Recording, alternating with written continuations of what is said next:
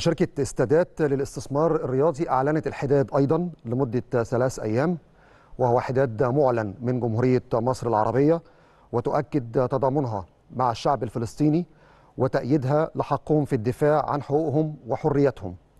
كما تدين قصف المستشفى الأهلي المعمداني بغزة أشد الإدانة باعتباره تجاوز خطير في حق الإنسانية وتعلن إيقاف جميع الفعاليات الترفيهية المقامة أو المنظمة عن طريق شركائها وشركتها التابعة لمدة ثلاث أيام. رئيس مجلس الإدارة والعضو المنتدب المهندس سيف الوزيري. الشعب المصري بأكمله.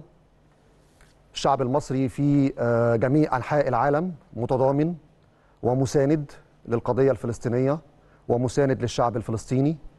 حالة العدوان من الكيان الصهيوني على الشعب الفلسطيني وعلى الأطفال والتصرف اللا إنساني الذي حدث بالأمس على مستشفى فيها أطفال ومرضى وسيدات.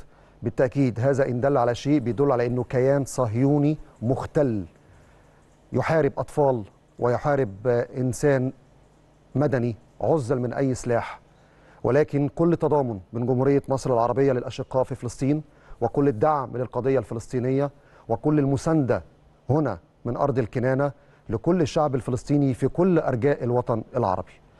طيب كمان لاعبي النادي الأهلي على مدار الفترة اللي فاتت كانت في تويتات وكان في كلمة مهمة جدا. لو مش في إيدك القرار الكلمة مسؤولية. الكلمة مهمة. الكلمة بتسمع والكلمة بتوصل.